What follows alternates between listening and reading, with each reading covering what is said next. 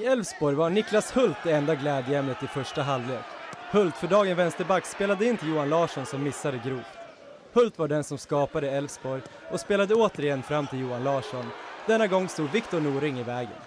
Inte heller Trelleborg fick till det i första halvlek. De försökte med sin variant av spanskt kortpassningsspel, men Joakim Nilssons skott gick till inkast.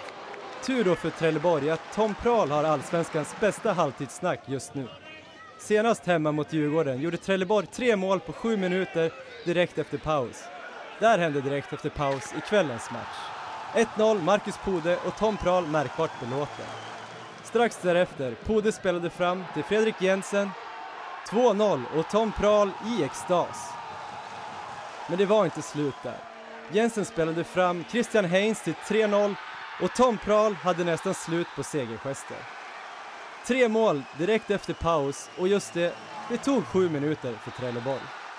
Elfsborgs genomklappning höll Tre Kronor-klass men de fick i slutet chansen att reducera på straff.